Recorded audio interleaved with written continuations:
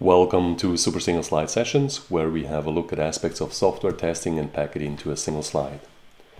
It is an exciting aspect of our field that a ton of good stuff has already been said a long time ago.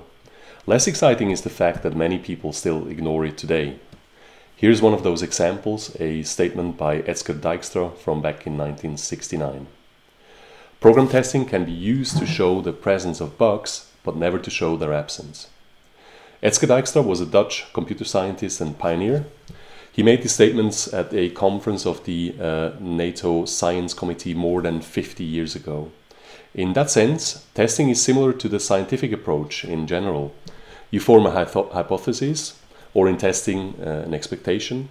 Then you try to refute that hypothesis or expectation through a series of experiments. Tests are experiments with the product. As long as there is nothing that refutes that hypothesis, or no test that fails or shows any uh, irregularity, everything is okay.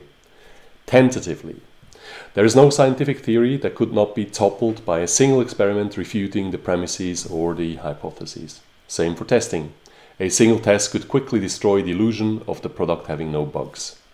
I believe people should quote Dijkstra more often when they are confronted with a manager seeking certainty and perfection.